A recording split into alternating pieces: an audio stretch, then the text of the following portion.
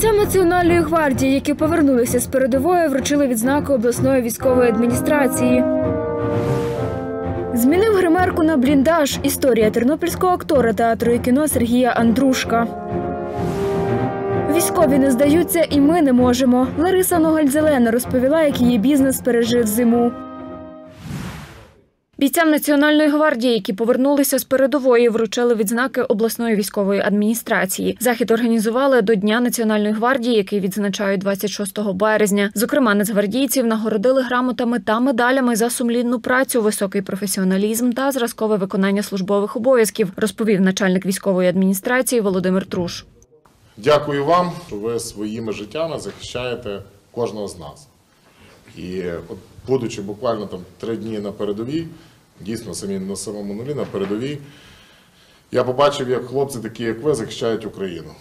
І це от словами не описати. Медаллю за службу Україні нагородили командира взводу, офіцера Нацгвардії Артема. Нещодавно він з побратимами повернувся з чергової ротації в зону бойових дій. Розповідає в Нацгвардії з перших днів повномасштабного вторгнення Росії в Україну. Сьогодні, в честь 9-ї річниці е, створення Національної гвардії, точніше відновлення Національної гвардії України, е, військовослужбовці Національної гвардії, які безпосередньо приймають участь в зоні бойових дій, які займаються охороною об'єктів інфраструктури, військових об'єктів, отримали нагороди як в міській раді, так в обласній раді, так і в обласній державній адміністрації. Це е, особисто для мене це підтримка, це мотивація ставати кращим. Бійці Нацгвардії передали для обласної військової адміністрації підписаний захисниками український стяг, з яким вони пройшли ротацію на Донеччині. Майже рік на передовій захищає Україну актор театру і кіно Сергій Андрушко. Чоловік розповідає, до територіальної оборони Тернопільщини пішов у перші дні повномасштабної війни. Це зовсім інший світ, коли потрапляєш туди.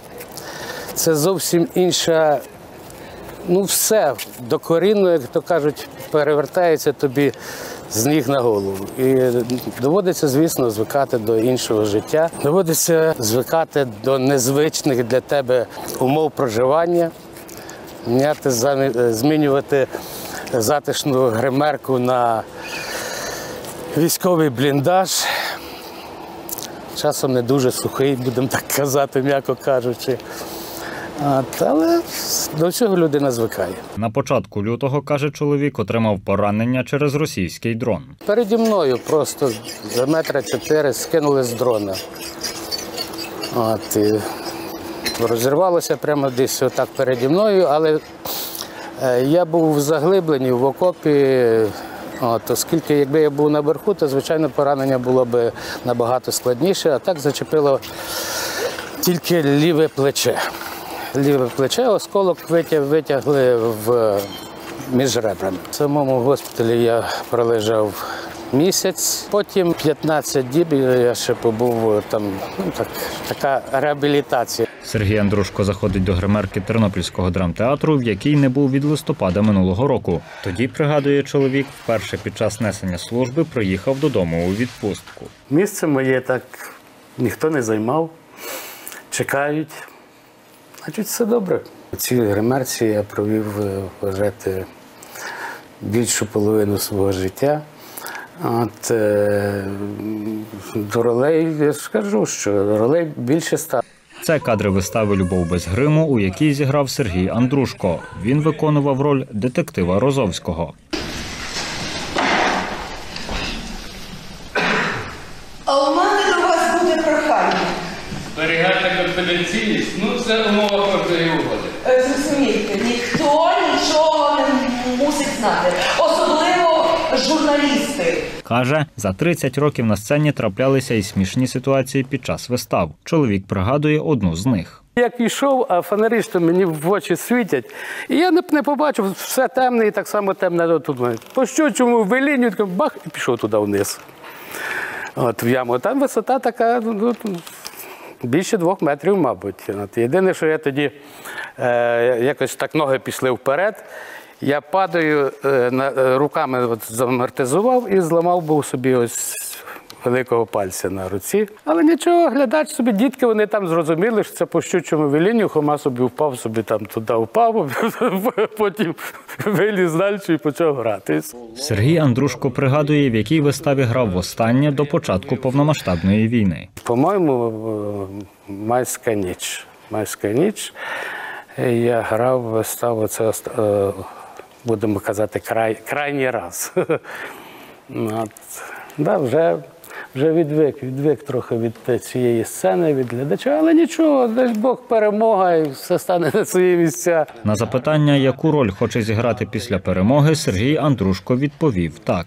Зараз я граю, мені здається, е, роль дійсно таку, що це одна з головних ролей, які є. Це захист батьківщини. А далі повернемось. Повернемось, подивимося, побачимо, щось щось зіграє. Театр це все. Це друга сім'я. У мене є от сім'я одна, дружина, родина, діти. А Друга сім'я це, як би це не пафосно звучало, воно так і є. Це, це театр, це мої колеги по роботі, по сцені. Тарас Бурак, Андрій Бодак, Суспільне новини, Тернопіль. Як почалась війна, сюдою їхали маса біженців. е, Тут була черга на дві доби. Воно тривало аж до кінця села. І от ми через оце не могли добратись до роботи. Банально не могли доїхати до, до свого садового центру. Це був розпач. Але ми обоє з чоловіком знали, що ми нікуди не поїдемо, що ми тут потрібні. Тут наш дім, тут наші діти, тут наша робота. Це теж наша дитина. Ми її створили з нуля. Підприємиця Лариса Ногаль Зелена понад 10 років працює у садовому бізнесі. У її центрі розміром 20 сотих є понад 10 тисяч рослин. Каже, у перший місяць повномасштабної війни центр закрила. От оця туя постраждала минулої весни. Тільки з-за цього вона погоріла вся на сонечку, тільки з-за цього, що ми не могли вчасно добратись до роботи і полити її. Як правило, жовті туї, жовті рослинки, всі схильні до підгорання. От оце одну потерпіло. Лариса Ногаль Зелена каже, вдалося відновити роботу у квітні. Це на місяць пізніше від початку сезону. Тоді вона з чоловіком працювала у центрі лише вдвох. Працівників нас під час от війни, коли б часу, просто не було. Ті, що працювали, виїхали за кордон. Нових практично знайти неможливо було із-за того, що ми знаходимося за містом через блокпост. Це нереально добратись. Ми залишились одні. В цьому році у нас стажуються зараз е, переміщені особи з Запоріжжя, ландшафтники з досвідом. Плюс вони поруч знайшли житло. Наступна проблема, з якою спіткнулася Лариса, відключення електрики через російські обстріли. Тоді каже, витратили приблизно 50 тисяч гривень на два генератори. Це для нас дуже велика проблема, оскільки наш полив, насоси працюють на електриці. Рослини всі треба поливати, особливо крупноміри. Е, В таку сонячну погоду це рано полив і вечір полив. Це дуже великий розхід води. Ми не можемо без електроенергії абсолютно. Також жінка каже, під час повномасштабної війни кількість клієнтів зменшилась втричі. Через те, що доїхати не могли. Перша причина е, платоспроможність, друга причина е, ті, хто навіть можуть собі дозволити, вони боялись вкладати кошти в ландшафт, в озеленення. Ніхто не знав, що чекає завтра. Цьогоріч садовий центр запрацював у березні, так як і планували, розповідає підприємиця. Ми повинні працювати, ми повинні сплачувати податки, ми повинні думати, чим розрахувати зарплату своїм працівникам. Повинні саме легше скласти руки. А як же ж потім це все відновити? Ми не можемо здатися. За нас солдати там воюють, вони не здаються, і ми не можемо. Анастасія Кисіль, Андрій Бодак, Суспільне новини, Тернопільщина. Ці пальчики загинаємо два. І тримаємо цими двома пальчиками. Ось дивіться. Як витягувати? Якщо ми хочемо товсту лінію написати, ми різко витягуємо. І в нас виходить товста лінія. Якщо ми хочемо тонесеньку лінію написати, ми під кутом і повільно витягуємо, і в нас виходить тонюсінька лінія. Народний майстер Ярослав Осадце розповідає дітям, як правильно тримати в руках писачок. Далі показує одну з технік написання писанок шпилькову. Вверху зробили маківку, внизу маківку. І тоді різко витягнули. Приставили палець до яйця і повертаємо яйцем. Бачите, ось так повертаємо. Вчиться розписувати яйця Вікторія Кучерява. До Тернополя дівчина приїхала з Херсона. Розповідає, почула про безкоштовні майстер-класи і вирішила прийти. Для неї каже, це спосіб відволіктися від пережитого. Раніше я писала писанки з своїми батьками, братами та сестрами. Це ніби я потрапляю в інший е, вимір і е, займаюся своїм ділом. Разом з бабусею навчається писанкарству дев'ятирічна Анна Грицишин. Це дуже цікаво, це розвиває розум, це е, якби весело. І мені подобається це робити. Прийшла, тому що мене моя онука спонукала до того, каже, пішли бабусю, нема чого вдома сидіти. Чимось займемося корисним, потрібним. Ну і згадаємо Україну нашу. Писала писанки, але дуже давно забулося. Довелось згадати трішки. Втретє на майстер-класі з писанкарства Дмитро Штипула та Марія Дембіцька. Я е, робив е, сонечко з всіх боків. Складно, бо е, е, люба капля, якщо впаде, то вже композиція нарушена. Я вже третій раз. Перший раз ми писали кольорову писанку. Складного немає, в принципі, нічого. Візьму з собою писанки в кошик.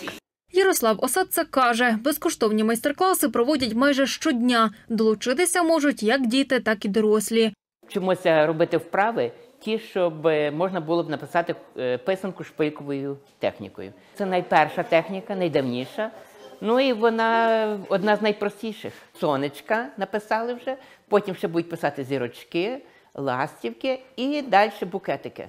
Тобто це буде ціле запрошення весни. Богдана Савицька, Андрій Бодак, Суспільне новини, Тернопіль.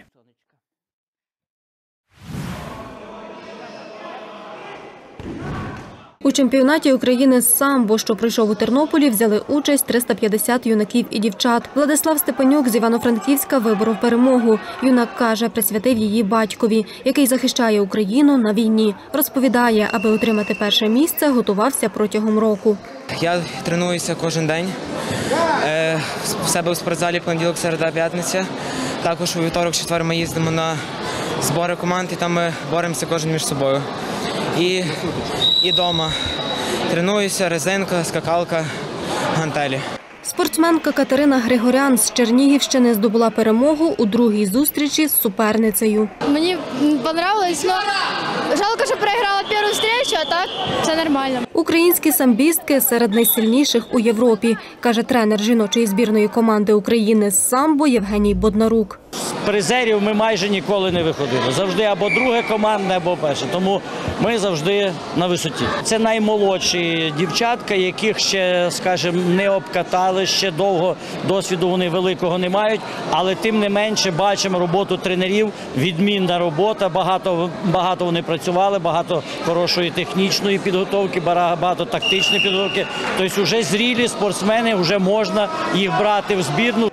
Чемпіонаті участь взяли збірні команди з 18 областей, розповідає головний суддя Віталій Гнатишин. За його словами, тут обирали гравців, які представлятимуть Україну на міжнародних турнірах. Проглядається майбутня чи кадетська збірна України, в яку будуть відбиратися чемпіони, е, формуватися нова юна збірна кадетська, з якою будуть працювати. Віталій Гнатишин каже, кадети боролися у 10 вагових категоріях. Переможці отримають чемпіонські титули. Людмила Путькалець, Василь Панчук, Суспільне новини, Тернопіль.